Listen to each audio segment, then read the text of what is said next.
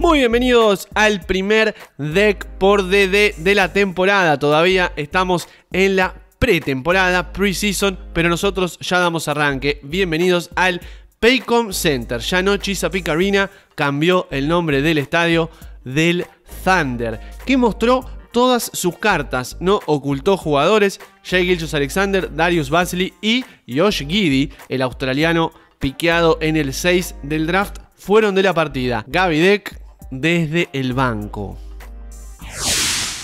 Entró en el tercer cuarto cuando la Melo Ball ya tenía la pelota en la mano y así iba a mostrar lo primero, un rebote yendo a la carga y quedándoselo en las manos el santiagueño. Miles Bridges, difícil tarea para Gaby Deck. Se le escapa en la primera, consigue el doble y además los libres. Luego la Melo le haría falta intentando robarle la pelota al ex Real Madrid y el árbitro muy gentilmente la cobró.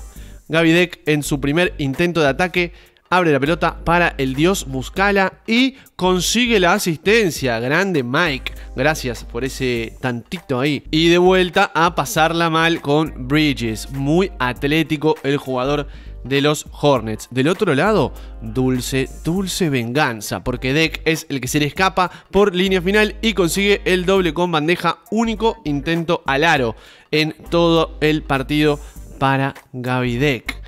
Vamos a verlo de vuelta, intentar ir hacia el aro y en lo que iba a ser su segundo tiro recibe una falta de Richards que lo va a mandar a la línea. Iba a convertir los dos tiros libres el ex San Lorenzo. Una casi asistencia porque Gaby va a recibir en el poste, su marcador va a caer al piso, encuentra abierto a Trey Mann uno de los rookies que no logra conectar el tiro de tres puntos. Nos vamos al cuarto cuarto Poku le dice, ¿hacemos algo después? Sí, dale, Poku, sin ningún problema. Recibe de Josh Giddy, el australiano, y casi la pierde si no era porque estaba Diakite ahí para agarrarla. Un poco de Poku Magic, ¿alguien pidió? A ver, en el uno contra uno y claro que sí, Poku, así me gusta, sin tocar el aro, ni siquiera un dolor de ojos ver a Oklahoma. Jalen McDaniels es ahora el que se le va al Tortu, que le termina convirtiendo y además fue a la línea el jugador de Charlotte. Acá vamos a ver una muy buena defensa